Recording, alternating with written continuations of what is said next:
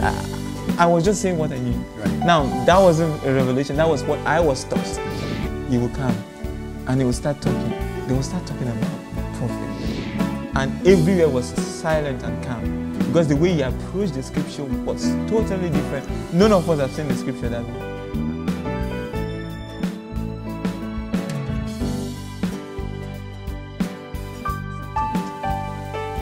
But I knew something was actually truth about the message. My spirit Right. was actually dropping something.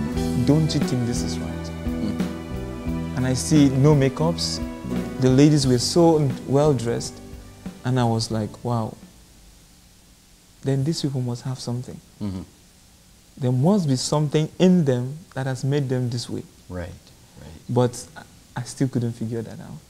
I was still, I would call it exploring. God was still taking me on a tour to the message. So, after I walked in, the message, uh, the, the church was over. I went home. Hmm, I was like, wow, nice people. Good. But I didn't even say anything about the message because I wasn't touched. I came the second time, nothing. Came the third time, nothing. I've come the fourth time, nothing. So it was until one day I started, no, we all in the church in Redeem started becoming sat- dissatisfied with the way things were going. Because there's these guest pastors who will come over to preach. When they visit, their preaching is totally awkward. Hmm. So sometimes we prefer having the residence pastor to preach than having guest pastor coming in to preach. So these guys, when they come, they just preach and take you out. You want to have a focus. You want to serve God, but the way these people talk about the word, it's like God is as so cheap. The way they present God, they don't present God with awe and respect. Mhm. So we were dissatisfied. Every one of us in that mini fellowship were dissatisfied. So we don't we, we started desiring God. And one of our prayers that time was God, give us the truth. We want to know what is truth. Hmm. We want to follow, we want to want to know you more. Right. Show us yourself, Lord. And we pray earnestly with faith and confidence in God. And not too long the message came. And when the message started sweeping the whole SFU, I was the first person after Steve who came to the church among us. Right. That's correct. So when I came, nothing. But when the two girls, when Lillian and Jumai came, they caught it. Yeah. And I'm very close to all of them. These girls caught this message. And Lillian one day called me and said, That's how church is supposed to be. I say, Yes. I say, I know you now you are joining them. Are you serious? She said she said she doesn't know, she just laughed. But I knew she was gone. Mm-hmm. And not quite long, not quite long, the both of them went to the church and took permission that they're leaving.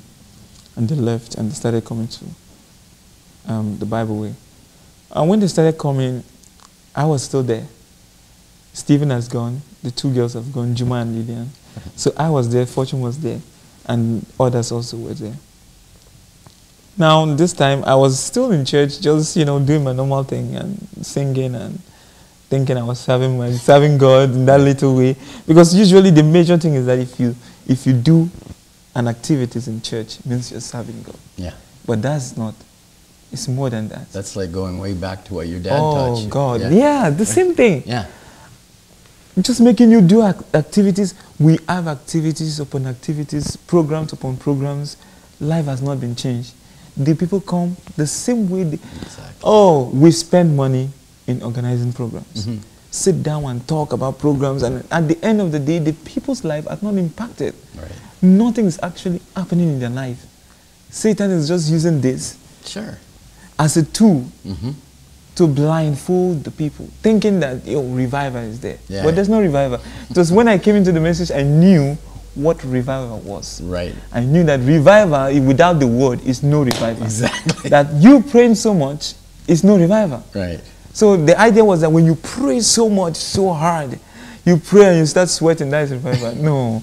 When I came into the message, that was when I understood that revival is actually the word of God being made real to you. Amen. Revelation upon revelation coming into your heart. Right. God taking you from where you are to where you've never been before. Exactly. And that was revival. Yes, sir. So I never knew about this. So I was just thinking, oh, when I pray from 15 minutes, if I start praying 30 minutes, means I had revival. Or when I start speaking in tongues, although I didn't speak in tongues though. Some people will say, when you speak in tongues, that is revival. Oh, Although that's nothing. Nothing. Absolutely nothing. So I was still there. The girls have gone. And I stayed in the church, still singing, still doing my own business. But there was this thing these girls usually do that caught me afraid, um, most especially Lillian. Lillian will come to the house, you know, would- I would just go to the house to sometimes relax and mm-hmm. eat. So when I went there, she usually do this funny kind of lifestyle that I was I consider it to be funny, but then I was scared when she ever do when she always do this. She will just come to the to the to the house and start shouting, "Oh Jesus, I love you! Thank you for showing me the truth. Come, Lord Jesus! Come, Lord Jesus!" I was like, "What's this girl talking about? I, why is she calling Jesus to come?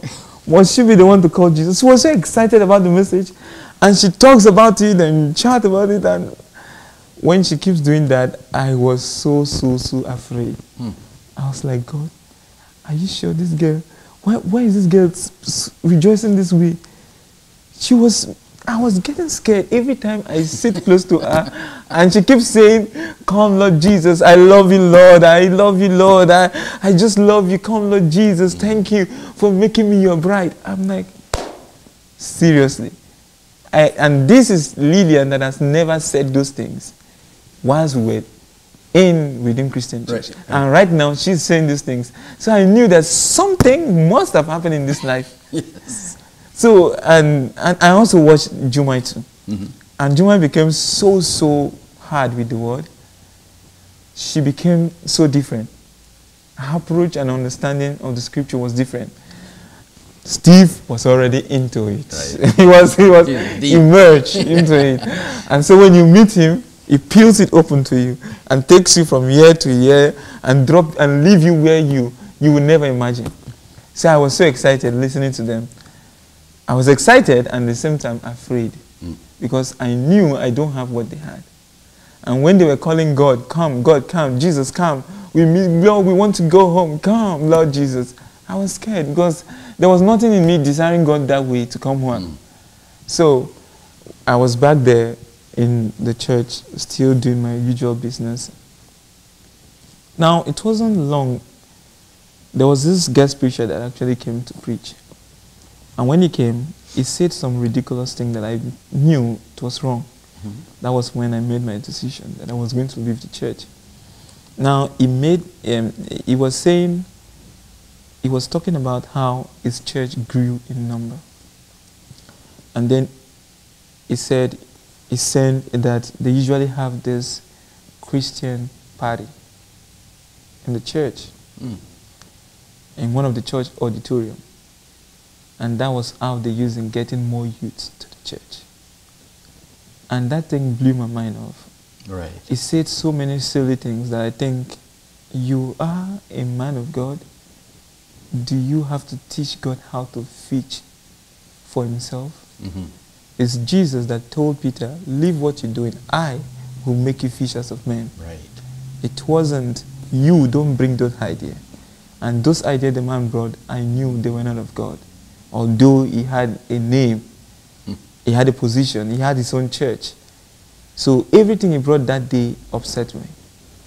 And then I look at myself, I said to myself, Ibiye, if you need eternal life, run for your life. That was when I made my decision Mhm.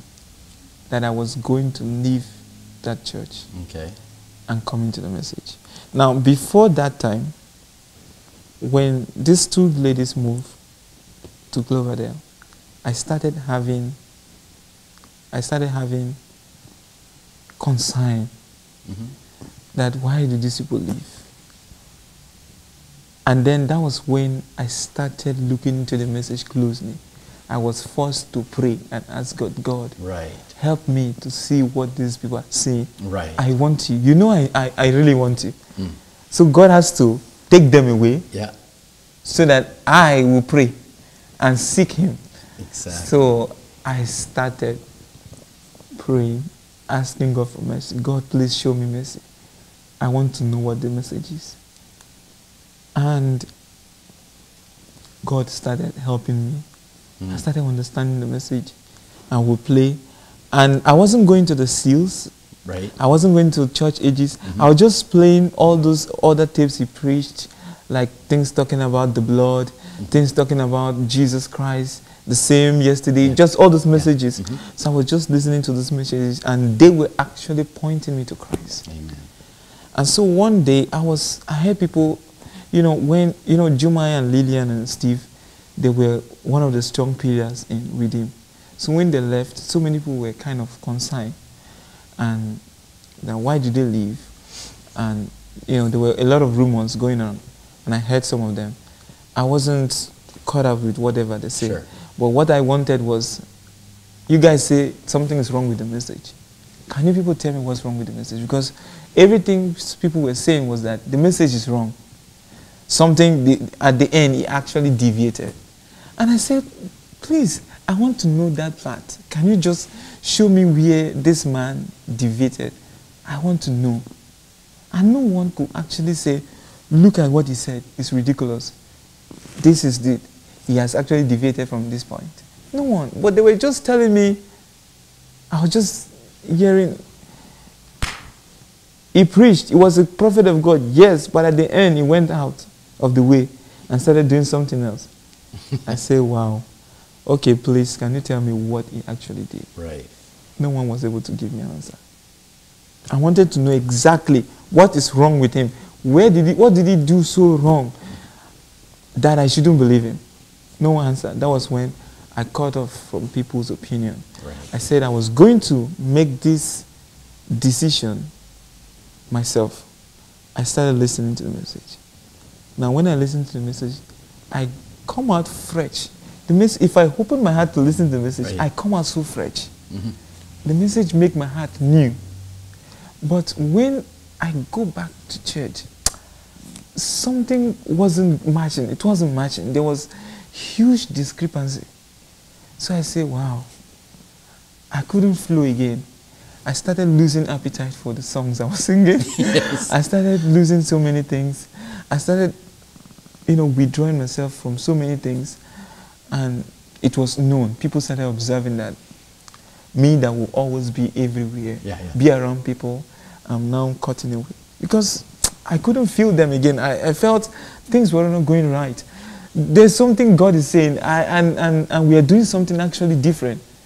I couldn't figure it out. I'm like, let me just search what is in this message. I want to know what is in it. Amen. So I started following the message. Now, it got to a point I got stuck. And then I said, okay, let me bring all the preachers I've ever known. Let me bring their messages. Mm-hmm. Let me bring their preaching, all what they have said. I brought it together. And I lay it side by side with the message. Right.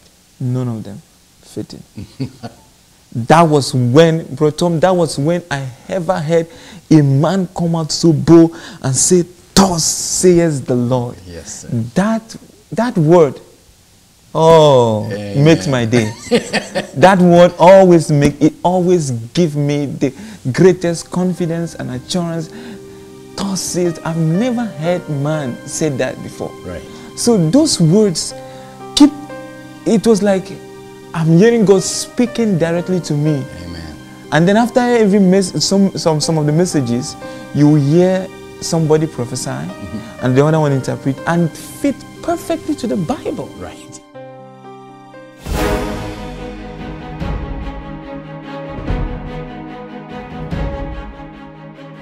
How could you tell? How could you say you have a church party? And, and- and you, when you mean party, you mean party, not just getting together.